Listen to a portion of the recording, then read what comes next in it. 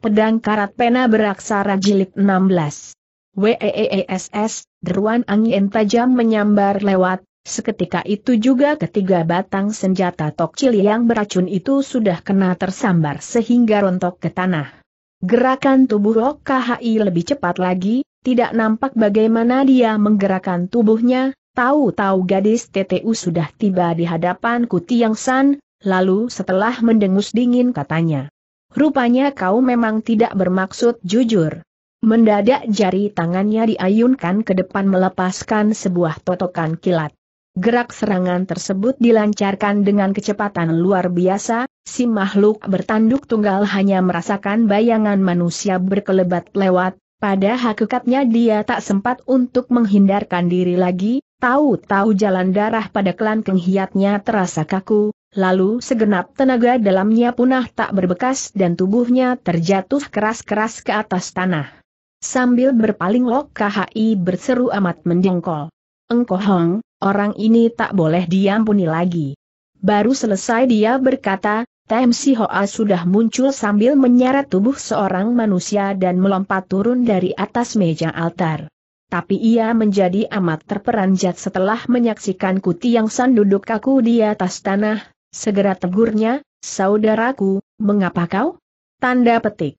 Tak usah ditanya lagi tukas Lok KHI cepat, ia menghadiahkan senjata rahasia beracun kepada kita bertiga dan sekarang giliran aku yang menghadiahkan sebuah totokan untuknya. Hampir saja si pena baja Tem Si Hoa tidak percaya akan peristiwa itu, dia memandang sekejap ke arah Kuti Yang San, lalu memandang pula tiga batang senjata rahasia beracun tokcil yang tergeletak di tanah, kemudian serunya kurang percaya. Saudaraku, mengapa kau berbuat demikian? Tanda petik. Sementara itu Tiong Hang telah memutar otaknya memikirkan persoalan tersebut, ia dapat merasakan bahwa Kuti Yang San menyergap mereka bertiga dengan senjata rahasia beracun, karena mereka berhasil menemukan kalau di balik patung Arya tersembunyi seseorang mungkinkah kedua masalah ini ada sangkut pautnya? Mungkin dia melakukan pembunuhan karena persoalan itu? Tergerak hatinya, dia lantas angkat kepala sambil bertanya, Saudara Tem, kau kenal dengan orang ini? Tanda petik. Si pena baja Tem Si Hoa membaringkan orang yang diseret keluar itu ke atas tanah, setelah memandangnya sekejap dia lantas menggelengkan kepalanya berulang kali. Xiao Te tidak kenal. Wei Tiong Hang coba mengamati orang itu, dia adalah seorang lelaki tinggi besar yang berwajah hitam pekat, sepasang matanya terpejam rapat-rapat, dalam hati kecilnya dia pun berpikir. Mungkin dia pun datang kemari untuk mencari kabar dan bersembunyi di belakang patung area, siapa tahu datang si kakek gemuk pendek itu yang menotok jalan darahnya. Belum habis dia berpikir Lok KHI sudah bertanya. Engkau si kakek itukah yang memberitahukan kepadamu bahwa di belakang patung area tersembunyi seseorang? Tanda petik. Wei Tiong Hang mengangguk kepada Tem Si Hoa katanya kemudian. Sewaktu Xiao Te menyuruh saudara Tem menuju ke belakang patung dan menyeret keluar orang ini, tiba-tiba saja saudaraku turun tangan keji menyergap kita dari belakang, bila dugaan Xiao Te tak salah, sudah pasti orang ini ada hubungannya dengan saudaraku. Pena baja Tem Si Hoa manggut-manggut. Yaa, tindakan dari saudaraku sungguh di luar dugaan siapa pun, Menurut apa Xiao Te ketahui agaknya saudaraku belum pernah mempergunakan senjata rahasia. Siapa tahu kuhuat kalian telah bersekongkol secara diam-diam dengan pihak Ban Kiam Hwee. Berhubung orang itu adalah matu-matu yang diutus pihak Ban Kiam Hwee, maka ia baru membantunya, kata Lok KHI mengemukakan pendapatnya. Sekali lagi si pena baja Tem Si Hoa memandang sekejap lelaki yang tergeletak di tanah itu, kemudian baru ujarnya. Jalan darah orang ini tertotok, asal kita tanyai dia, segala sesuatunya tentu akan terungkap. Selesai berkata, dia lantas mencengkeram tubuh lelaki yang tergeletak di tanah itu dan menepuk pelan punggungnya. Pelan-pelan lelaki itu membuka matanya memandang beberapa orang itu sekejap mendadak dia melompat bangun. Si pena baja Tem Si Hoa sudah menyiapkan diri sedari tadi, sambil tertawa, ia turun tangan, secepat kilat dicengkeramnya nadi pada pergelangan tangan kanan orang itu, kemudian serunya dengan suara dalam, Sobat, sudah kau lihat jelas keadaan di sekelilingmu. Tanda petik. Lelaki itu pun kelihatan tertegun setelah pergelengan tangan kanannya dicengkeram Tem Si Hoa dengan suara keras dia berteriak, Lo Tem, lepaskan tanganku, bagaimana sih kau ini? Teguran tersebut kedengarannya sangat akrab, tapi seluruh badan Tem Si Hoa segera gemetar keras. Suara teriakan tersebut sangat dikenal olehnya, kalau ditanya suara siapa yang paling dikenal, maka suara inilah yang ditunjuk sebab suara tersebut jelas suara teriakan dari si makhluk bertanduk tunggal Kuti Yang San. Tapi, bukankah Kuti Yang San telah tertotok jalan darahnya dan duduk kaku di situ? Tanpa terasa dia memandang sekejap ke arah Kuti Yang San, lalu memperhatikan pula lelaki yang suaranya mirip suara Kuti Yang San itu, ia merasa raut wajah orang ini pun mirip sekali dengan wajah Kuti Yang Sun, Cuma warna mukanya berbeda dan garis alis matanya agak berbeda. Dengan perasaan keheranan dan mata, terbelalak lebar-lebar dia lantas bertanya. Siapakah sebenarnya? Tanda petik. Dengan marah lelaki itu tergelak keras. Anjing geladak peliharaan kunyuk telah menyaru sebagai diriku, seadara tem, kendati pun tidak kau kenali wajahku, masa suaraku pun tak bisa kau bedakan? Tanda petik. Kali ini, TMC Hoayane terkenal karena banyak akal muslihat ini benar-benar dibikin kebingungan setengah mati Kuti Yang San yang tertotok itu bukan cuma raut wajahnya adalah wajah Kuti Yang San, berikan nada suaranya pun suara Kuti Yang San, sudah jelas mustahil kalau dia gadungan, tapi saudara yang berada di hadapannya sekarang pun mengaku sebagai Kuti Yang San, paling tidak ia mempunyai nada suara yang mirip sekali. Untuk sesaat dia jadi kebingungan sendiri, dengan kening berkerut ujarnya kemudian saudara, bagaimana Xiao Te bisa mempercayai dirimu dengan begitu saja? Tanda petik. Jika si pena baja Tem Si Hoa saja tak dapat membedakan, sudah barang tentu Tiong Hang dan Lok KHI lebih-lebih, tak bisa membedakan hal tersebut. Saking gelisahnya lelaki itu sampai mencak-mencak macam monyet kepanasan, teriaknya berulang kali. Lotem, kau betul-betul monyet goblok cepat lepaskan aku Xiao Te punya care untuk memaksanya berbicara sejujurnya. Tidak susah bila menginginkan Xiao Te lepas tangan, tapi kau mesti memberikan keterangan lebih dulu yang sejelas-jelasnya. Ketika kau berangkat ke kota Seng Xiao untuk menyambut kedatangan Wi Pangchu, tanpa kusadari jalan darahku telah ditotok oleh bangsat tersebut dari belakang, kemudian aku diseret ke belakang patung Arya dan pakaianku dilucutinya, kemudian dia memoleskan pula sesuatu di wajahku, setelah itu Xiao Te pun tidak tahu apa yang terjadi. Sambil berkata dia mengusap wajahnya sekuat tenaga dengan tangan kirinya, tapi meski sudah digosok sampai merah, wajahnya masih seperti sedia kala. Tam Si Hoa berusaha untuk mengamati wajahnya dengan seksama, akan tetapi ia sama sekali tak berhasil menemukan suatu titik kelemahan apa pun jua, maka segera tanyanya. Anggap saja kau memang saudaraku, coba kau terangkan dulu, bagaimana keadaan kita waktu menerima kabar buruk dari Ting Pangju. Tanda petik. Jadi kau masih belum percaya? Tanda petik. Asal jawabanmu benar, tentu saja aku akan mempercayai dirimu. Ketika kami menerima berita duka dari Ting Pangcu, waktu itu hari sudah malam, dengan kaki telanjang kau menyerbu keluar, malah sambil mengancing pakaianmu dengan tangan kanan, pertanyaan pertamamu kepadaku adalah begini, saudaraku, apakah berita ini dapat dipercaya? Tanda petik. Xiao Te pun menjawab, berita ini dikirim secara kilat oleh anggota perkumpulan kita sendiri jadi tak mungkin salah. Lantas kau pun berkata lagi, dari mana kau bisa berkata demikian? Tanda petik. Nah, betul bukan ucapanku itu. Tanda petik. Si Hoa agak percaya juga dengan perkataannya itu, sambil angkat kepala dia lantas berkata, Sebelum ku bebaskan dirimu, ada satu hal hendak ku peringatan dulu kepadamu, yakni sebelum siapa asli dan gadungan diketahui dengan pasti, kau tak boleh menyerang orang yang menyaru sebagai dirimu itu. tentu saja, tidak ada salahnya kalau kita saling bertaruh, anjing geladak peliharaan kunyuk ini sudah pasti orang dari Selatok Sehsya. Sejak mendengar nadi pembicaraannya itu, Tam Si Hoa sudah percaya beberapa bagian terutama ucapan anjing geladak peliharaan kunyuk, kata makian itu memang merupakan ciri khas dari si makhluk bertanduk tunggal.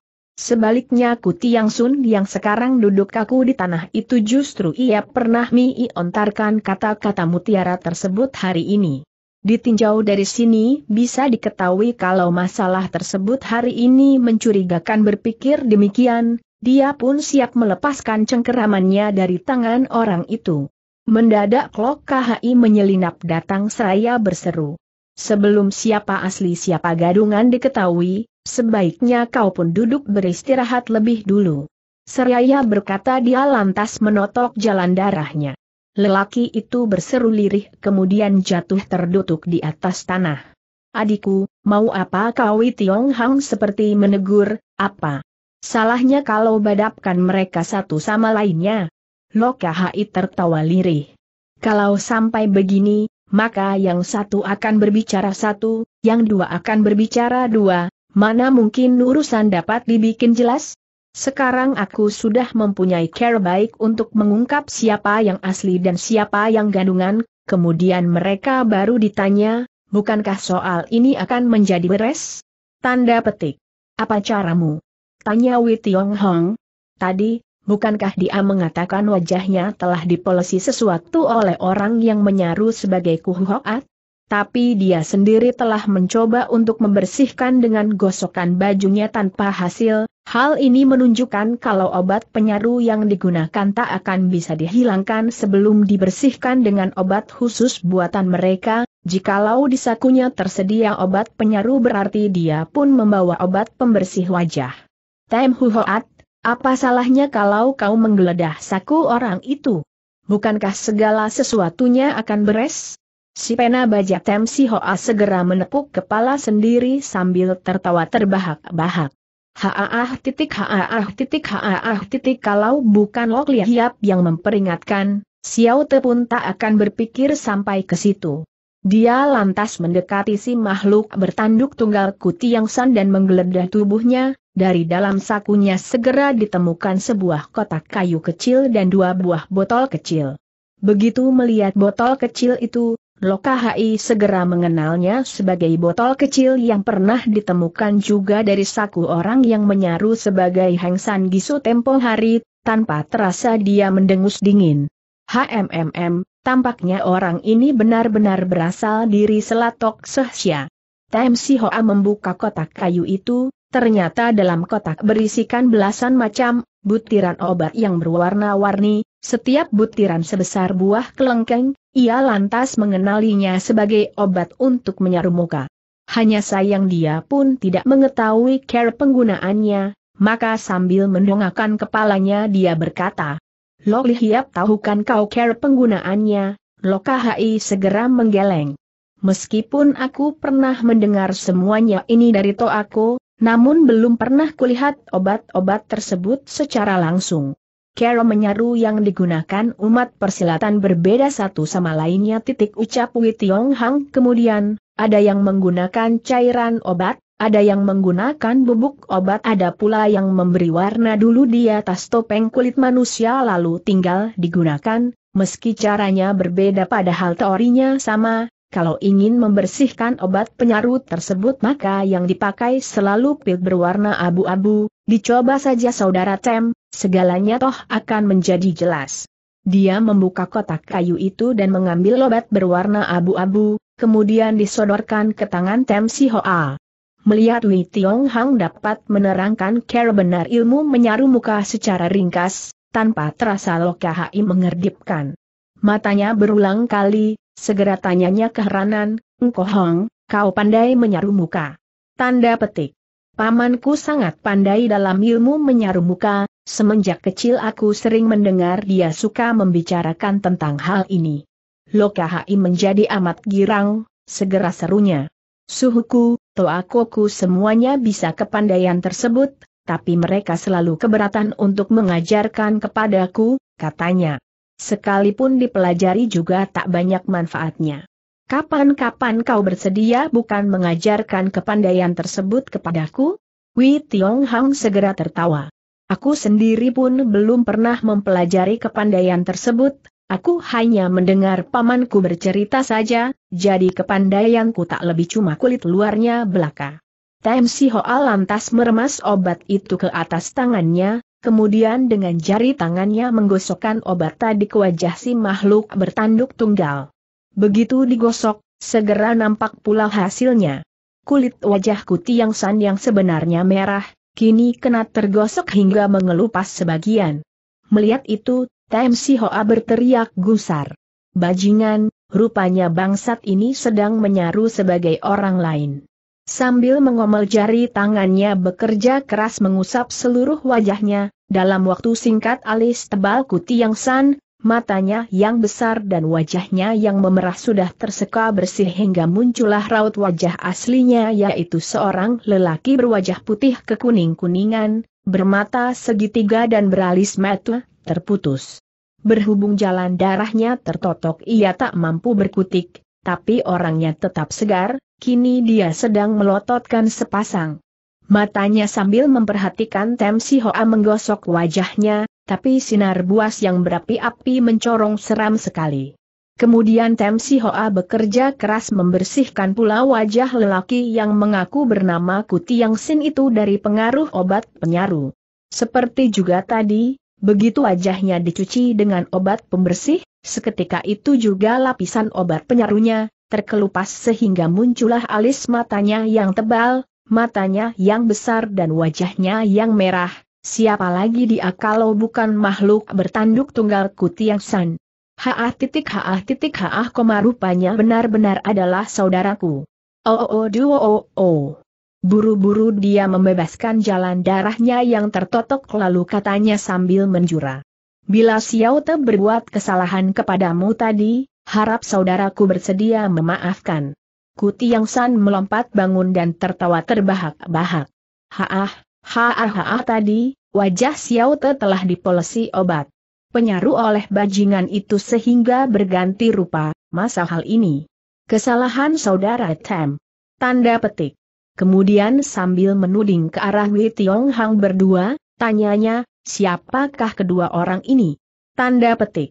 Dialah Wei Tai Hiap saudara angkat dari Ting Pang Chu. Buru-buru Kuti Yang San membungkukan badan memberi hormat.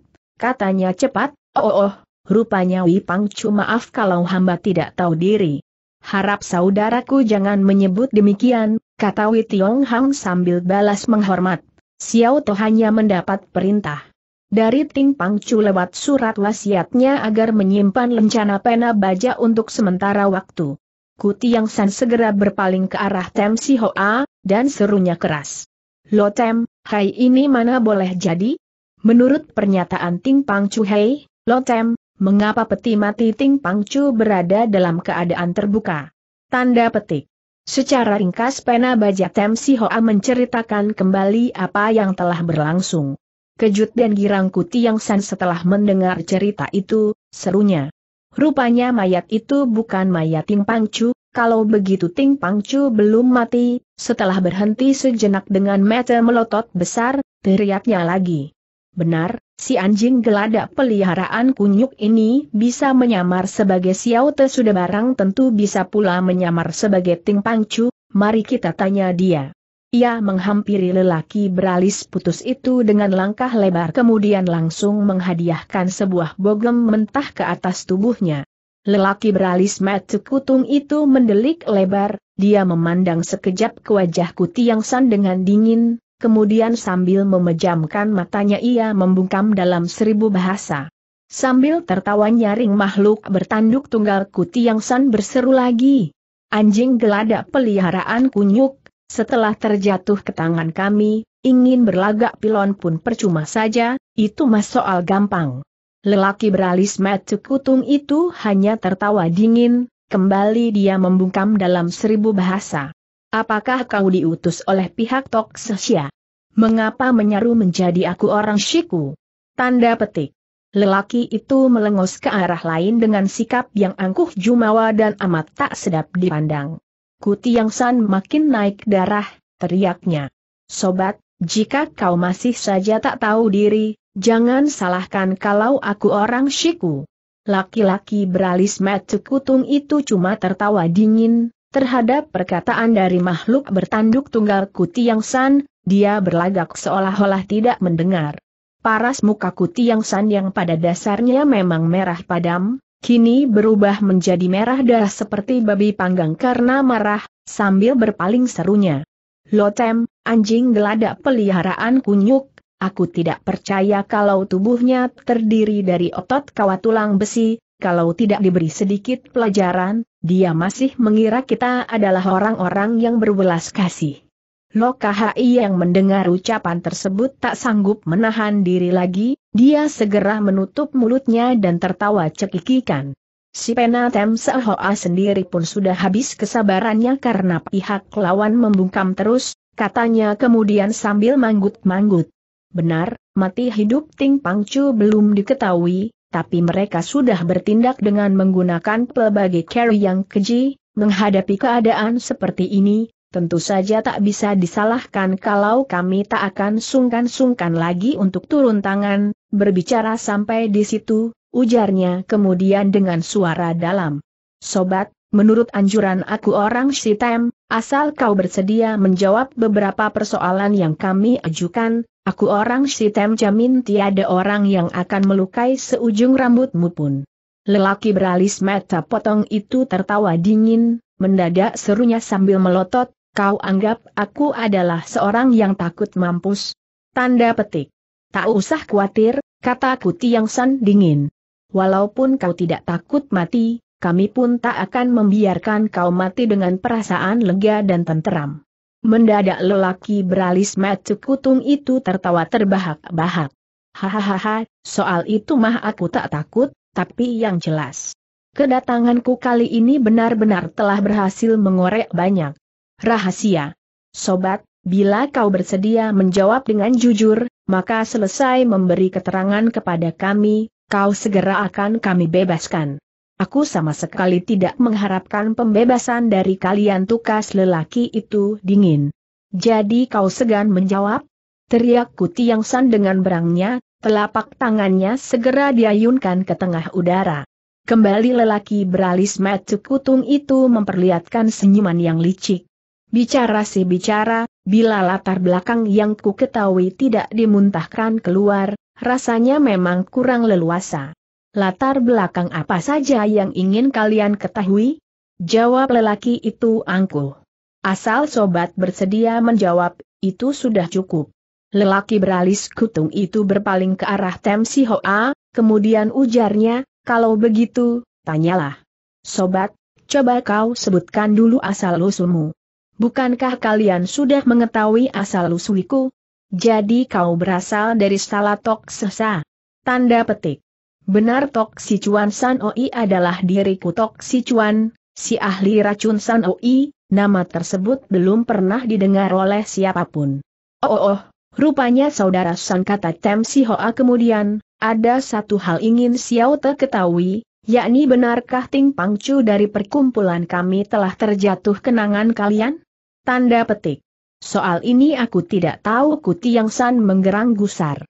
Lotem, aku sudah tahu kalau anjing geladak peliharaan kunyuk ini tak akan bicara sejujurnya, bila tidak diberi sedikit pelajaran yang setimpal. Jangan tergesa-gesa saudaraku, cegah Tem Si Hoa, Xiao terpercaya saudara San ini belum tentu mengetahuinya. Si ahli racun San Ou tertawa dingin, tiba-tiba dia berseru. Tujuan kedatanganku yang sebenarnya kemari adalah ingin tahu, apakah pangcu kalian benar-benar mati atau pura-pura mati?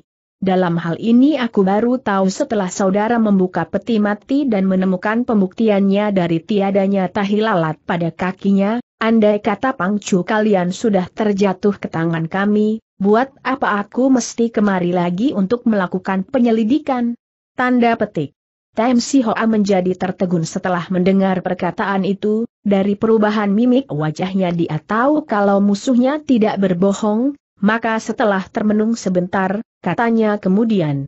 Kalau begitu, ia benar-benar sudah terjatuh ke tangan orang-orang Ban Kiam Hwee. Aku toh sudah bilang sedari tadi Timbrung Lok KHI, pihak Ban Kiam Hwee tak nanti akan membebaskan dia dengan begitu saja. Tam Si Hoa lantas bertanya lagi.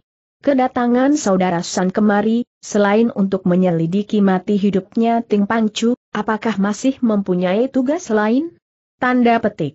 Menurut berita yang tersiar dalam dunia persilatan Lubun si sudah terjatuh ke tangan Ting Pangcu kalian, tak lama kemudian tersiar lagi berita tentang kematian Ting Pangcu, sesungguhnya mati hidup Pangcu kalian tak ada sangkut pautnya dengan kami, tapi berhubung soal itu menyangkut jejak dari Lubun si. Maka, mau tak mau terpaksa harus melakukan penyelidikan yang seksama, apakah semuanya ini masih belum cukup? Tanda petik. Tadi San Heng mengatakan tahu banyak rahasia, rahasia apa sih yang kau maksudkan? Tanda petik. Lelaki beralis kutung itu mendongakkan kepalanya, lalu berkata, aku adalah seorang yang hampir mati, baiklah akan ku beberkan. Semua rahasia yang ku ketahui kepada kalian. Kau ingin bunuh diri? HMMM, tak akan segampang itu, seru Kuti yang San sambil tertawa dingin. Buru-buru Tem Si Hoa berkata, San Heng, harap kau jangan salah paham, perkumpulan kami tak pernah terikat dendam kesumat apa pun dengan pihak Tok Sisya, buat apa kami berniat mencelakai San Heng. Tanda petik. Tok Si Cian Sancu tertawa hambar. Bagi anggota Toksisia yang tertawan musuh maka kejadian ini sama artinya dengan tiada kesempatan bagiku untuk kembali dalam keadaan hidup berbicara sampai di situ, mendadak dia mengangkat kepalanya sambil berkata lagi. Tahukah kau, siapakah orang yang pertama-tama mendapatkan pena mustika lubunsi itu? Tanda petik. Tergerak hati Wit Yong Hong, dia segera menyambung, orang itu tentu Tok Heji. Tok si Cian Sancu tertawa terbahak-bahak. Haaah, haaah, haaah, aku dan Tok Heji sendiri pun memperolehnya dari tangan orang lain, kalau ditanya siapakah orang pertama yang mendapatkan Lubunsi, maka harus dibilang anggota tipit pangkalian. Ucapan tersebut sama sekali berada di luar dugaan Wit Yong Hong. Kau jangan mengaco belo bentak kuti yang san gusar. Tok si Cian San Ou tertawa dingin, Kembali ujarnya waktu itu aku sendiri pun merasa heran, mengapa orang-orang tipit pang bersedia jual tenaga untuk pihak Ban Kiam Hwee, sayang orang itu datang terlambat hingga akhirnya kami berhasil, kini kami baru tahu ternyata dalam tipit pang terdapat pengkhianat. Kau maksudkan lubuhan? Seru Kuti yang San dengan tubuh tergetar keras dan mati melotot. San Chu tertawa dingin. Orang yang sudah mati susah dijadikan saksi, anggap saja orang itu adalah Tijui Tonglong, belalang bereaksi baja, Lu Ye Chun, sebetulnya dia berada di pihak yang amat beruntung, sebab mendapatkan kesempatan di saat anggota Ban Li Piao Kiok satu persatu roboh ke tanah, dia sambar Li Bunsi tersebut. Kembali Wit Yong Hang merasakan hatinya tergerak pikirnya, heran, mengapa anggota Ban Lip Yao Kiok bisa roboh satu. Persatu jangan-jangan, berpikir sampai di situ, dia lantas angkat kepala sambil bertanya, apakah Xiao Beng San serombongan terkena racun kejimu? Tanda petik. Soal ini kenapa mesti ditanyakan lagi? Mereka semua telah menginjak racun tanpa wujud yang sengaja kami sebarkan ke atas tanah haah, haah, Sekalipun si belalang bersayap baja juga tak terkecuali. Oha, jadi lu buat mati di tangan kalian teriak Kuti yang San dengan gusar. Dia sendiri bersedia diperalat orang-orang Ban Kiam Hwae, sekarang mau salahkan siapa pula? Jawab San O dingin, heeh, heeh, yang kumaksudkan adalah orang yang menyaksikan si belalang bercakar baja roboh binasa ke tanah, kemudian segera berlalu dengan tergesa-gesa dan melaporkan kejadian ini kepada Cintai Seng, congkoan dari Ban Kiambun. Bangsat, kan berani bicara sembarangan bentak Kuti yang San dengan gusar, sepasang matanya melotot besar. Lalu tangannya diayun ke depan dan menghajar batok kepada San Ou. Tam Si Hoa ingin menghalangi perbuatan rekannya, tapi sayang tak sempat lagi. Agaknya Sanci sudah mempersiapkan diri sejak tadi, Sambil tertawa dingin dia mengegos ke samping menghindarkan diri dari sambaran angin pukulan Kutiang San, kemudian sambil mengeluarkan sebuah lencana tembaga dari balik sepatunya dia berseru lagi keras-keras. Siapakah orang itu, aku rasa kau pasti lebih tahu daripada aku, nah dari dalam saku sahabat itulah aku berhasil mendapatkan benda ini, tak bakal salah lagi. Belum selesai dia berkata mendadak tubuhnya menggelepar di udara dan terbanting keras-keras ke tanah, lencana tembaga itu pun segera terjatuh ke atas tanah. Semua perubahan peristiwa itu berlangsung sangat mendadak dan sama sekali di luar dugaan. Wei Tiong Hang dengan cepat mengalihkan matanya ke atas lencana tembaga tersebut, di atas lencana itu terukir sebilah pedang, sedang di bawah pedang terdapat sebuah lingkaran hitam yang bertuliskan huruf 16. Dalam sekilas pandangan saja dapat diketahui kalau lencana tersebut merupakan tanda pengenal dari pihak Ban Kiam Hwee, tanpa terasa dia berpaling ke arah Lok KHI. Lok KHI segera manggut-manggut sambil tertawa. Buru-buru si penabaja Tem Si Hoa membangunkan San Ou Seraya berteriak keras, Saudara San, sebenarnya kejadian apakah yang kau maksudkan tanda tanya. Pelan-pelan San On menutup kelopak matanya, darah kental berwarna hitam nampak meleleh keluar dari ujung bibirnya, dia sudah mati karena keracunan. Membaringkan kembali jenazah tersebut ke lantai, Tam Si Hoa menghela napas panjang. Betul-betul obat beracun yang sangat keji, tak nyana terhadap orang sendiri pun mereka dapat bersikap seperti ini. Dengan kalap si makhluk bertanduk tunggal kuti yang su menyambar lencana tembaga itu, kemudian membentak keras-keras. Pit hitam nomor 16 keparat, Anjing geladak peliharaan kunyuk titik sekuat tenaga lencana tembaga itu dibanting keras-keras ke atas tanah. Termakan oleh tenaga lemparannya yang kuat itu, sambil menimbulkan suara dentingan nyaring, lencana tersebut menancap di atas tanah sedalam tiga cun lebih.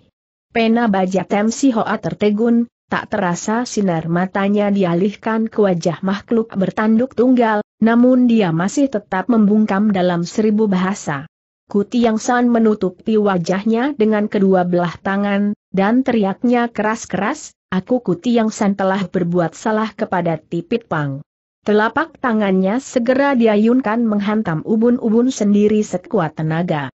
Padahal sejak tadi Tem Si Hoa sudah menangkap arti dari perkataan Sanchu, ia menjadi terperanjat setelah menyaksikan kejadian itu, cepat bentaknya, saudaraku. Lokahi bertindak lebih cepat lagi seperti anak panah yang terlepas dari busurnya dia menerjang ke muka, lalu menotok jalan darah Pit Jihiat pada lengan Kuti yang san, kemudian serunya dingin. Sekarang seharusnya kau yang memberi keterangan. Belum sempat telapak tangannya menghantam batok kepala, Kuti yang san merasakan lengannya menjadi kaku dan tak berkutik. Tetapi mendadak saja dia membentak lalu nampak darah kental keluar dari mulutnya, kemudian setelah berkelojot beberapa kali tubuh Kuti yang san yang tinggi besar itu roboh ke atas tanah. Waktu itu Lokahai telah menotok jalan darah pada lengannya, tapi gadis itu tidak menyangka kalau dia bakal menggigit putus lidah sendiri untuk bunuh diri, melihat kejadian tersebut dia baru merasa terperanjat. Sementara itu Tem Si Hoa telah menerjang ke hadapannya, tapi Kuti yang San telah jatuh berguling-guling di atas tanah kemudian jatuh tak sadar. Tem Si Hoa membuka paksa mulutnya, tampak darah kental bercucuran terus amat deras, lidahnya sudah putus dua dan jiwanya tak mungkin tertolong lagi.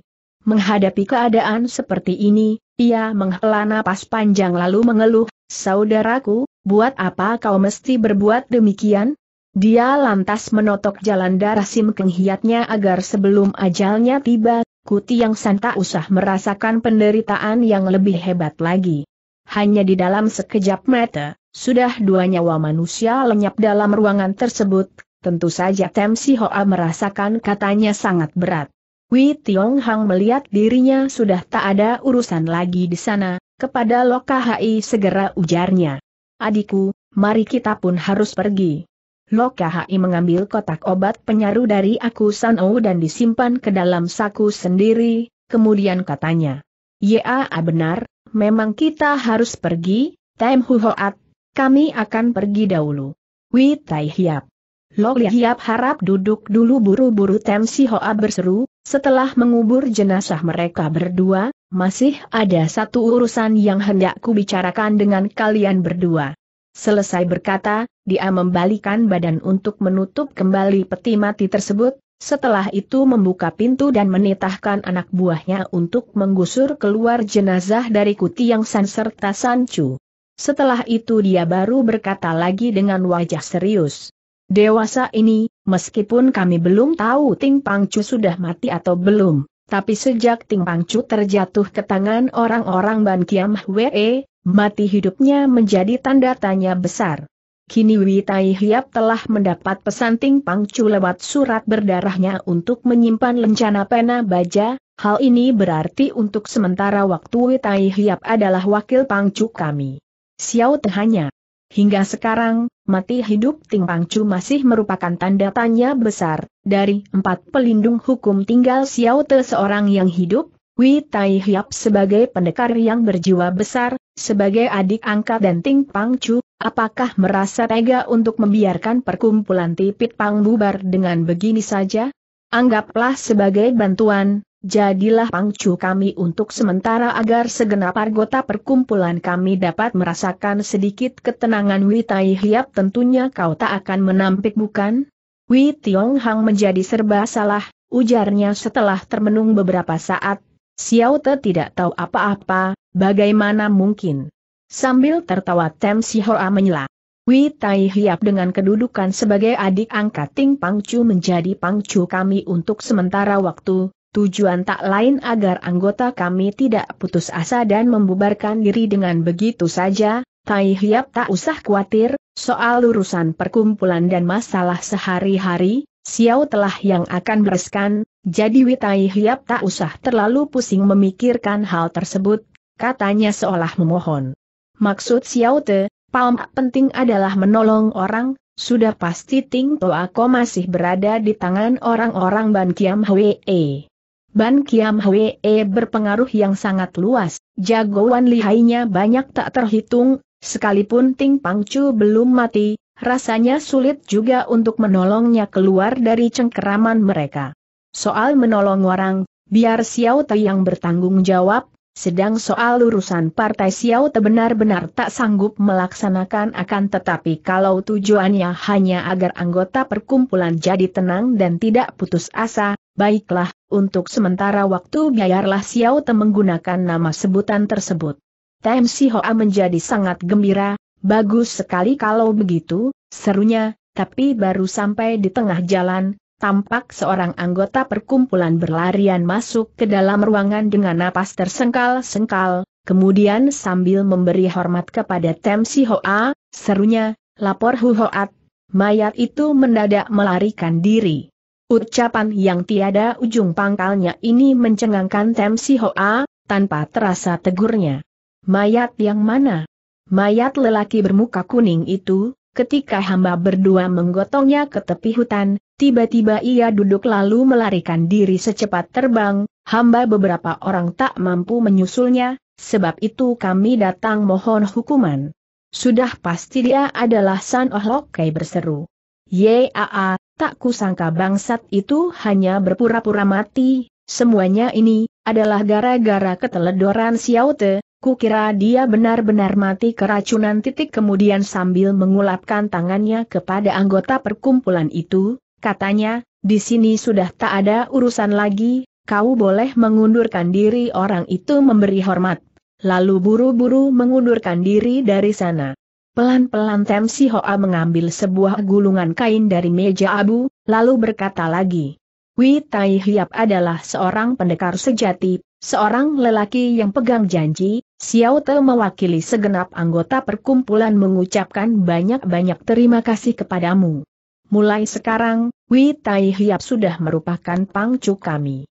Sebagai seorang pangcu, sejak dulu hingga sekarang berlaku suatu kata-kata sandi yang mesti dibaca, karena kata-kata sandi itu melupakan sebuah jurus serangan, kendati pun jurus serangannya amat sederhana, namun merupakan peraturan yang ditetapkan Lo Pangcu dulu, apalagi dibuat sendiri oleh Lo Pangcu, karenanya silahkan Wei Tai Hiap membacanya sendiri. Selesai berkata, pelan-pelan dia membuka gulungan kain tersebut dan digantungkan di udara, hingga Wei Tiong Hang bisa melihat lebih jelas lagi. Karena ucapan mana diutarakan dengan wajah serius, Wei Tiong Hang segera mengalihkan sorot matanya ke depan. Di atas gulungan kertas itu tertera sebuah lukisan manusia, tubuhnya sedang berbungkuk ke depan, tangan kiri diayunkan membentuk suatu gerakan, sementara tangan kanan setengah ditekuk memperlihatkan gaya pena emas melakukan totokan. Di atas lukisan mana, tertera empat bait tulisan yang berbunyi demikian. Burung hang mangguk tiga kali, cahaya tajam sirap dengan sendirinya. Bila tiada bermaksud di hati, akan diperoleh tanpa bersusah payah tertanda, tipit lenggi. Sesungguhnya gerakan serangan tersebut merupakan suatu jurus yang amat umum dan sederhana, jurus itu disebut burung hang mangguk tiga kali.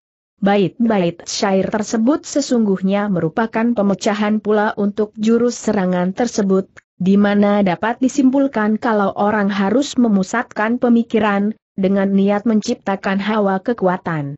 Namun rahasia itu bersifat umum dan diketahui semua orang yang pernah belajar ilmu silat, sehingga boleh dibilang tiada sesuatu yang aneh dan baru.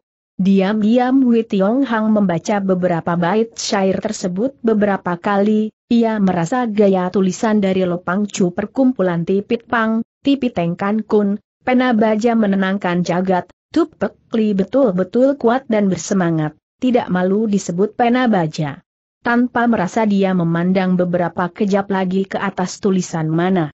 Ketika Tem Si Hoa menyimpan kembali gulungan kain tersebut, para anggota perkumpulan telah datang menghidangkan nasi dan sayur.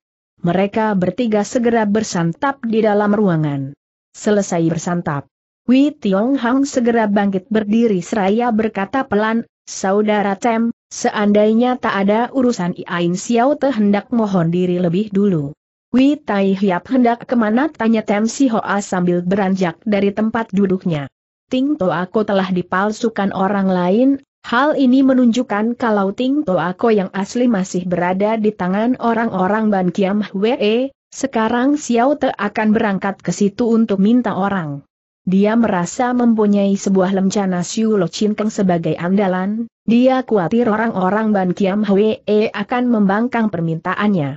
Lo KHI sendiri pun merasa bahwa Lo Aubunsi kemungkinan besar masih berada di tangan orang-orang Ban Kiam HWE, sebab Ting Chi hingga kini masih berada di tangan mereka, kebetulan suhunya memerintahkan kepadanya untuk menemani Wi Tiong Hang menuntut kembali benda tersebut, dengan wajah berseri segera serunya. Betul, sekarang juga kita pergi menjumpai ketua perkumpulan Ban Kiam HWE. Wei Tai Hiap benar-benar seorang pendekar besar yang bijaksana dan berjiwa besar ujar Tem Si Hoa kemudian sangat terharu. Gara-gara persoalan Ting Pangcu, kau bersedia pergi ke Ban Kiam Hwe, budi ini betul-betul besar sekali, Wei Tai Hiap izinkanlah Xiao Te menemani kalian berdua, biar mesti terjun ke lautan api, Xiao Te bersedia untuk melakukannya. Tanda petik. Cepat-cepat Wei Tiong Hang menggoyangkan tangannya berulang kali. Kepergian Xiao Teng hanya bertujuan untuk mengajak mereka membicarakan persoalan ini, jika orang yang ke situ kelewat banyak, aku rasa malah kurang leluasa. Sampai kini, mati hidup Ting Toako masih merupakan tanda tanya besar, padahal perkumpulan Anda masih memerlukan petunjuk dan bimbingan saudara Tem, lebih baik kita bertugas pada pekerjaan masing-masing saja. Sementara Tem Si Hoa hendak berkata lagi, Wei Tiong Hang telah menjura seraya berkata, urusan ini tak bisa ditunda-tunda lagi, Xiao Te akan berangkat lebih dulu, selesai berkata, dia lantas mengajak Lok KHI berlalu dari dalam ruangan. Tem Si Hoa segera menitahkan orang untuk mempersiapkan kuda, menanti kedua orang itu sudah pergi jauh, dia baru menitahkan orang untuk mengubur peti mati itu, lalu membawa anak buahnya kembali ke markas. Oh, oh, oh, Sementara itu, Witiong Hang dan Lok KHI sepeninggal Kuil Sik Jantian segera melarikan kudanya kencang-kencang menempuh perjalanan cepat ke depan. Mendadak Witiong Hang menarik tali les kudanya dan berbelok ke sebuah jalan kecil di sebelah timur. Engkau Hang akan ke mana kau Lok KHI segera menegur. Bukit Pit Busan. Bukit Pit Busan. Tempat manakah itu? Pit Busan adalah markas besar pasukan pita hitam dari perkumpulan Ban Kiam HWE. Tempo hari aku bersama Ting To Ako dan Tok Heji sekalian disekap di tempat itu. Oh, oh, oh Aku tahu sekarang, tempo hari aku ingin turut Toako ke situ, tapi Toako tidak mau aku turut, apa pun yang kukatakan dia juga tak mau menjelaskan di manakah Chen Chongkoan itu berada, katanya tempat ini belum ditemukan dan harus dicari lebih dahulu, sekarang, apakah kau hendak mencari orang si Chen itu? Kalau kita ingin mengetahui kabar berita tentang Ting Toako, tentu saja kita harus pergi mencari Chen Chongkoan. Kalau begitu kita tak usah pergi ke Kiambun? Bila kita tak berhasil mendapatkan sesuatu berita di sini, rasanya belum terlambat untuk berkunjung ke Kiambun. Loka HI berpikir sebentar, akhirnya dia mengangguk juga. Baiklah. Kedua orang itu meneruskan kembali perjalanannya hampir setengah jam lamanya, sering kali Wi Tiong Hang jelingukan memandang sekeliling tempat itu. Dia merasa hutan Xiong yang terbentang di depan mati memang bukit Chiang Xunia, tempat di mana Kamli Ucu menantikan kedatangannya tempo hari, pemuda itu lantas tahu kalau jaraknya dengan Bukit Pit Busan sudah tak jauh lagi. Belakangan ini sudah banyak peristiwa besar yang dialaminya, pengetahuannya dan pengalamannya dalam dunia persilatan pun telah memperoleh kemajuan yang pesat, begitu tiba di depan hutan, dia lantas melompat turun dari kudanya. Lokahi ikut melompat turun dari kudanya, setelah itu menegur dengan suara lirih, sudah sampai. Masih harus menempuh perjalanan yang cukup jauh, tapi ada baiknya kita tambatkan dahulu kuda-kuda tersebut dalam hutan tersebut, daripada memancing perhatian orang lain. Lokahi manggut-manggut, mereka berdua segera menuntun kuda masing-masing dan menambatnya dalam hutan pohon siong itu kemudian meneruskan perjalanan dengan berjalan kaki. Tak selang berapa saat kemudian, mereka sudah sampai di bawah kaki Bukit Karang, di depan sana terbentang sebuah hutan menghalangi jalan pergi mereka. Wi Tiong Hang tahu kalau mereka sudah tiba di tempat tujuan, tempo hari, ketika dia datang bersama Kamli Ucu, di sinilah kedatangan mereka dihadang oleh seorang pendekar pedang berpita hitam. Karena kedatangannya hari ini bermaksud untuk menjumpai Chen Chongkuan dengan tata sopan santun, sudah barang tentu dia tak ingin memasuki wilayah orang dengan begitu saja tanpa terasa dia lantas menghentikan perjalannya. Loka HI yang mengikuti di belakangnya segera bertanya, Engkau Hong, di sini katanya kemudian. Kita mencari orang untuk memberi laporan lebih dulu, daripada menimbulkan kesalahan paham orang lain. Loka HI segera memperhatikan sekejap sekeliling tempat itu, kemudian dia bertanya, di manakah mereka? Wi Tiong Hang menunggu beberapa saat lagi di luar hutan, benar juga, ternyata tidak mendengar ada orang yang menegur, dalam hati segera pikirnya, mungkin pendekar pedang berpita hitam itu masih berada di dalam sana. Berpendapat demikian, dia lantas berpaling seraya berkata, mari kita masuk ke dalam untuk melihat keadaan. Selesai berkata, dengan langkah lebar dia masuk ke dalam hutan tersebut, namun belum nampak juga seseorang yang menghalangi. Jalan perginya, kenyataan ini segera menimbulkan kecurigaan dalam hati kecilnya. Ia lantas berjalan menuju ke tengah hutan-hutan kecil yang ada, entah berapa saat dia sudah berjalan. Padahal seingatnya dulu, semestinya di situ sudah ada rumah gubuk yang dimaksudkan, karena sewaktu datang bersama Kam Liu Chu tempo hari, gubuk tersebut berada di tengah hutan sini. Tapi kenyataannya sekarang, bayangan rumah gubuk itu pun sudah tak nampak lagi. Loka HI yang menyaksikan si anak muda itu cuma memandang belakang ke kiri dan kanan tanpa bersuara, lama-kelamaan habis sudah kesabarannya, Tak tahan dia lantas bertanya, apakah kau sudah tak dapat mengingat lagi jalan yang pernah dilalui dulu? Bukan begitu, jalan yang dilalui tak ada yang salah, cuma rumah gubuk yang sebenarnya berada di sini, mengapa bisa lenyap tak berbekas? Mungkin tempat ini hanya tempat sementara yang mereka diami, sekarang orang-orang itu sudah tidak berada di sini lagi. Lantas rumah gubuknya Lok KHI segera tertawa cekikikan. Sebelum pergi meninggalkan tempat ini, tentu saja rumah rubuk. Tersebut mereka bongkar terlebih dahulu.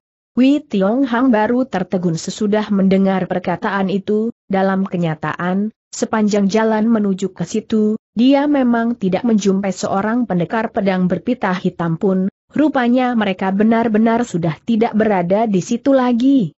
Berpikir sampai di situ, mendadak satu ingatan kembali melintas lewat, dengan cepat dia menggelengkan kepalanya berulang kali.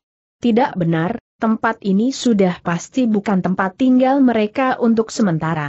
Dari mana kau bisa tahu? Tempat yang digunakan mereka untuk menyekap kami agaknya berada di dalam perut sebuah bukit, tempat di dalam sana amat besar, tak mungkin kalau semacam itu merupakan tempat tinggal sementara. Tadi kau mengatakan tempat itu adalah sebuah rumah gubuk sewaktu Alu dan Kamto aku datang kemari tempo hari, Chnin. Chongkoan memang tinggal di dalam rumah gubuk, Lokahai segera mendengus tukasnya. Jikalau di bawah tanah sana tersedia ruangan yang besar, buat apa mereka harus tinggal di dalam rumah gubuk? Sudah pasti rumah gubuk itu hanya bersifat untuk mengelabui orang. Ketika bicara sampai di situ, tiba-tiba dia berseru tertahan, katanya lagi kemudian. Ah ah ah, benar, berita tentang dilarikannya Lu Bunsi oleh Ting Cikeng telah tersebar luas dalam dunia persilatan, sudah pasti merekalah yang sengaja mencari orang untuk menyamar sebagai Ting Cikeng kemudian dibunuh di kuil Sik Jantian agar semua orang menyangka Ting Cikeng tewas dibunuh orang dan Lubun si tersebut dilarikan juga oleh pembunuh tersebut, padahal merekalah yang sebenarnya mendapatkan Lubun si itu. Setelah berita tersiar dalam dunia persilatan sudah pasti ada banyak orang yang akan datang ke kuil Sik Jantian untuk melakukan penyelidikan, padahal tempat ini tak jauh letaknya dari kuil Sik Jantian, andai kata sarang pasukan pedang berpita hitam dari Ban Kiam Hwe benar-benar berada di sini, Bukankah hal ini sama artinya dengan memperlihatkan kepada orang bahwa merekalah yang melakukan perbuatan tersebut oleh karena itu rumah gubuk itu segera dibongkar, seakan-akan mereka sudah pindah dari situ, hanya dengan begitu orang lain baru tak akan menaruh curiga terhadap mereka. Wei Tiong Hang segera mengangguk berulang kali, dengan wajah serba salah dia lantas berkata, Lantas kita harus ke mana mencari mereka Lok KHI mendengus dingin.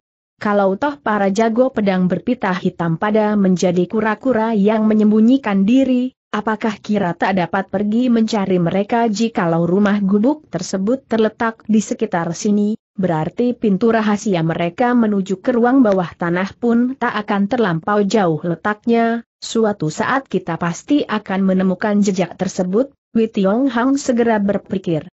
Waktu itu, Chen Chong Kuan hanya bertepuk tangan, dari belakang ruangan segera muncul seorang bocah. Chen Chong Kuan menitahkan kepadanya untuk menanyakan soal pedang pusaka miliknya kepada Nona Hong. Tak lama setelah bocah itu pergi, dia telah muncul kembali sambil membawa pedang mestika tersebut. Andai kata pintu masuk keluarnya tidak berada di sekitar tempat itu, mustahil dia dapat pergi datang sedemikian cepatnya. Berpikir sampai di situ, buru-buru sahutnya, apa yang dikatakan adik memang benar, mari kita segera mencarinya. Hutan tersebut terletak di kaki bukit, sedang bukit itu adalah bukit karang yang berkapur, sampai di ujung hutan sana, pepohonan nampak semakin jarang, di sana sini penuh dengan bongkahan batu cadas, sedang dari sela-sela batu tumbuh semak belukar yang lebat. Wei Tiong Hang mencoba untuk memeriksa sekeliling tempat itu, tapi ia gagal untuk menemukan di manakah rumah gubuk tersebut pernah didirikan. Sepantasnya kalau gubuk itu dibongkar paling tidak di atas tanah pasti akan ketinggalan bekas-bekasnya. Tapi keanehan mana justru terletak di sini, sekalipun mereka berdua sudah memeriksa seluruh semak belukar di sekitar bukit berbatu itu, namun tak sesosok bayangan pun yang ditemukakan, apalagi menemukan pintu masuknya menuju ke ruang rahasia. Lama-kelamaan Lok KHI menjadi naik darah, dia segera mendengus dingin. Hum, kalau cuma sebuah rumah rongsokan saja, apa sih luar biasanya? HMMM, bahkan alat rahasia yang begitu sempurna dari Ite Teng Taisu pun berhasil kutemukan, masa rumah rongsokan tak bisa ku jumpai tanda tanya. Gadis itu memang tidak menyombongkan diri, tempat teratai Buddha besi dari Ite Teng Taisu memang terbuka karena sentuhan tangan nona itu namun sentuhan tersebut adalah suatu sentuhan tanpa sengaja, bergeraknya alat rahasia tersebut pun hanya suatu kebetulan. Padahal suatu peristiwa yang kebetulan belum tentu bisa terulang lagi, sudah barang tentu kejadian macam begini tak dapat dianggap sebagai suatu kepandaian yang sebenarnya. Lokai menjadi semakin mendongkol sambil bergumam dia lantas menendang sebutir batu hingga remuk dan mencelat jauh sekali. Tapi justru karena tendangannya yang menyebabkan hancuran batu berhamburan ke mana-mana. Wei Tiong Hang yang sedang berjongkok sambil melakukan pencarian itu segera mendongakkan kepalanya dengan perasaan terperanjat. Baru saja dia mendongakkan kepalanya, dari tempat kejauhan sana ia saksikan ada dua sosok bayangan manusia sedang meluncur datang ke arah hutan dengan kecepatan tinggi. Buru-buru dia membentak dengan suara rendah, adik KHI, ada orang datang. Bila begitu kita tak usah repot lagi sahut Lok KHI sambil tertawa cekikikan. Setelah memandang sekejip sekeliling tempat itu, dia menarik tangan Witiong Hang sambil berseru. Cepat kemari. Tubuhnya segera berkelebat ke depan dan berjongkok di belakang sebuah batu besar untuk menyembunyikan diri. Witiong Hang ikut menyembunyikan diri di belakang batu, mereka berdua saling berdesakan berjongkok menjadi satu. Baru selesai menyembunyikan diri, mendadak terdengar suara langkah kaki manusia telah berkumandang empat lima kaki di hadapannya. Dari balik semak belukar Lok KHI mencoba untuk mengintip ke depan, dia saksikan orang yang berjalan di paling depan adalah seorang bocah lelaki berbaju hitam yang kurus lagi kecil, ternyata dia adalah Tok Heji. Sedangkan yang lain bertubuh kurus berjubah panjang berwarna biru, dalam sekilas pandangan saja dia kenali jubah biru itu sebagai jubah yang dilepas oleh Sincu yang menyaru sebagai Kuti Yang San itu dari badan Kuti Yang San. Engkau Hong, cepat lihat, orang yang datang bersama Tok Heiji itu bukankah Tok Si Chuan Sancu yang berpura-pura mampus? Wei Tiong Hang yang mendengar suara bisikan itu merasakan lubang telinganya gatal sekali, buru-buru dia menghindar dan melongok sekejap keluar, tapi dengan cepat ia menggelengkan kepalanya berulang kali. Tidak mirip. Tok si Chuan San Ou mempunyai alis mata yang terpotong, mata segitiga, muka bulat dan berperawakan tinggi besar, sebaliknya orang ini berwajah kurus. Tapi jubah panjang berwarna biru yang dia kenakan itu jelas milik Kuti yang San coba perhatikan lagi bukankah pakaian itu cocok sekali dengan potongan badannya? SSTTT titik jangan berisik lagi, mereka sudah semakin dekat. Loka HI segera mendengus, ih padahal kalau untuk menghadapi dua orang manusia tersebut kita tak perlu untuk menyembunyikan diri. Tidak kita harus menyadap pembicaraan mereka lebih dulu coba kita dengarkan apa yang sedang mereka bicarakan siapa tahu mereka mengetahui jalan rahasia tersebut.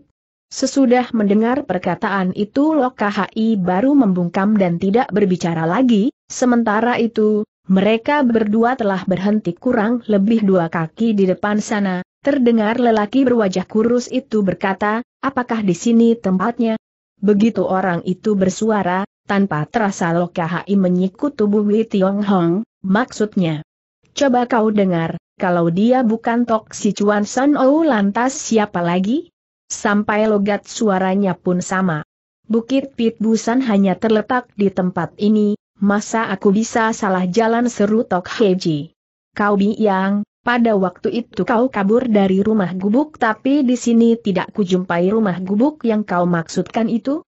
Ternyata mereka pun datang untuk mencari rumah gubuk tersebut, sekali lagi Lokahai menyikut tubuh Wei Tiong Hong. Wei Tiong Hong segera manggut-manggut, sementara dalam hati kecilnya berpikir. Kalau ditinjau dari sini, apa yang dikatakan Tok Si Chuan San Ou memang tidak salah, setelah ia membuktikan kalau orang yang mati bukan Ting Chi Hal itu berarti permainan busuk dari Ban Kiam Hwae, atau dengan perkataan lain Lubun si itu pasti berada di tangan orang-orang Ban Kiam Hwae. Rupanya setelah pulang dia setelah memberi laporan, dia lantas mengajak Tok Heiji untuk mencari sampai di sini sementara itu Tok Heiji pun nampak tertegun, selang sesaat kemudian ia baru berkata, Yaa, betul, ke mana larinya rumah gubuk tersebut? Masa dapat lenyap dengan begitu saja?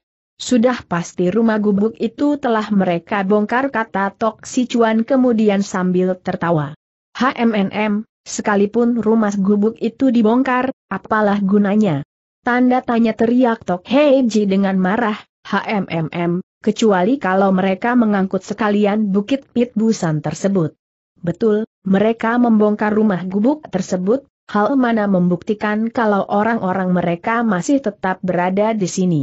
Mari kita segera melakukan pencarian, aku masih ingat waktu itu aku harus melalui banyak sekali anak tangga berbatu sekalipun sarang mereka amat rahasia, toh sudah pasti terdapat sebuah jalan masuknya.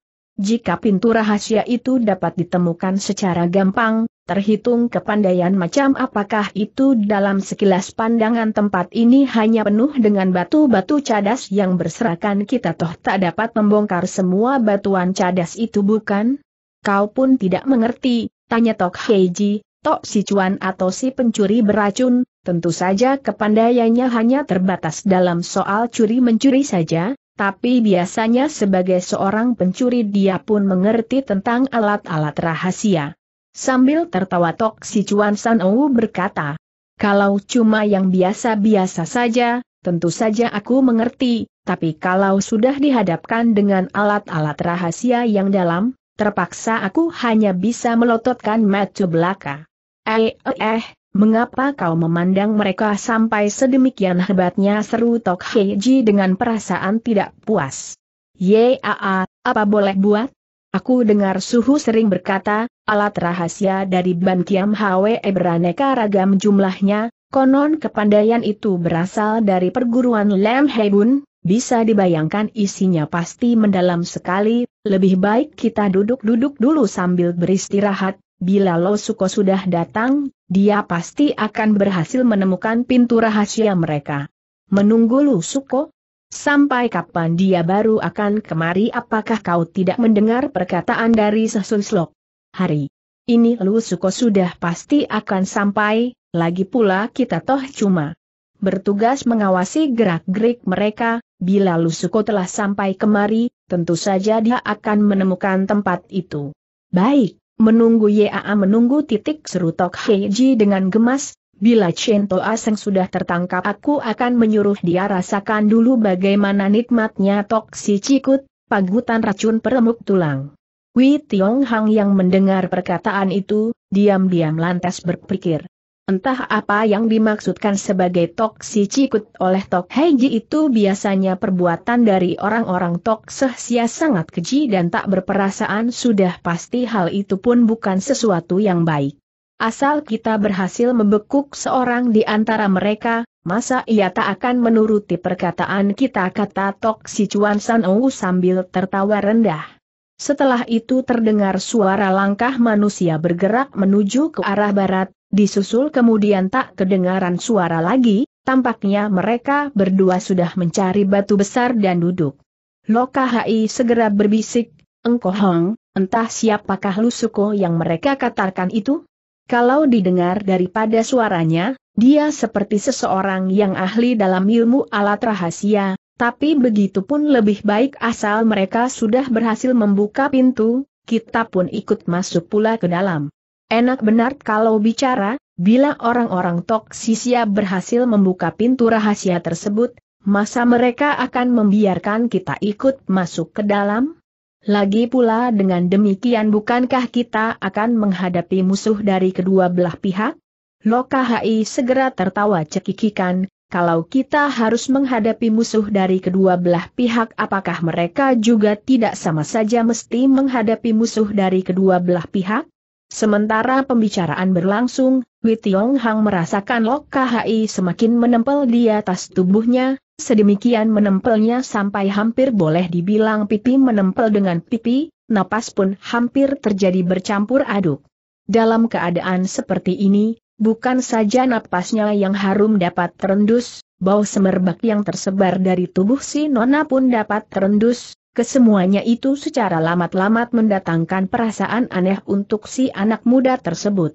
Dalam waktu singkat, pemuda itu merasakan badannya menjadi panas, peluh sebesar kacang hijau turut bercucuran dengan amat derasnya. Ketika Lokahi merasakan napas pemuda itu mendadak menjadi kasar dan agak memburu, dengan keheranan ia berpaling, katanya, Engkau Hong, apakah kau merasa kegerahan? Karena berpaling maka topeng kulit manusianya yang jelek dan penuh dengan burik itu persis menyentuh di atas pipi Wi Tiong Hong, Anak muda itu segera merasakan wajahnya seperti membentur di atas benda ik tebal lagi kasar, sedemikian kasarnya hampir saja membuat kulit mukanya sakit. Oh oh maaf loh KHI segera mengerdipkan matanya, apakah terasa sakit topengku ini memang kasar, bacokan golok atau pedang tak berakalan mempan, seraya berkata, tiba-tiba dia melepaskan topeng tadi. Dengan terkejut Witiong Hang segera berbisik. Hei mau apa kau melepaskan topeng itu dengan wajah bersemu merah Lok KHI tertawa. Sebentar baru pakai lagi, toh sama saja? Dengan demikian bila sampai menggesek di atas wajahmu nanti tak akan terasa sakit lagi. Ucapan tersebut diutarakan dengan kobaran api cinta yang membara, benar juga, dia lantas menempelkan selembar wajahnya yang lembut dan halus itu di atas wajah pemuda tersebut. Wei Tiong Hang merasa malu sekali, namun dia pun rikuh untuk menampik, terpaksa dia membiarkan gadis itu menempel di tubuhnya. Sementara kedua orang itu masih dimabuk cinta, mendadak terdengar bunyi lirih bergema memecahkan keheningan, sebutir kerikil kecil meluncur melalui atas kepala kedua orang itu dan terjatuh ke atas tanah. Dengan perasaan terkejut Wei Tiong Hang segera berpaling ke sekeliling tempat itu, namun tidak ditemukan seorang manusia pun, hal ini membuat hatinya keheranan. Dengan cepat Lok KHI mengenakan kembali topeng kulit manusianya dan membereskan rambutnya yang kusut, lalu tanyanya pelan. Engkau Hong, apakah ada orang yang telah menemukan jejak kita Wei Tiong Hang segera menggeleng. Heran, Berapa kaki di sekitar tempat ini tak nampak ada seorang manusia pun. Belum habis dia berkata, terdengar Tok Si Chuan Sanoa telah membentak dengan suara rendah. Losu, ada orang datang, cepat bersembunyi Tok Heiji segera mendengus. HMMM, yang datang berjumlah tiga orang, mirip orang-orang Ban Kiam Hwee. Kemudian terdengar suara gemerisik yang pelan, Rupanya kedua orang itu pun sedang menyembunyikan diri di balik semak belukar. Mendadak Klok KHI mendesis lirih. Sekarang aku sudah tahu, yang melemparkan batu tadi tentu Ji Suciku, setan alas. Ji Sucimu sekarang dia berada di mana tanya Witiong Hang keheranan. Siapa yang tahu jawab Lok KHI manja, gara-gara kau, HMM sekarang kelihatan Ji Suci malu toh rasanya,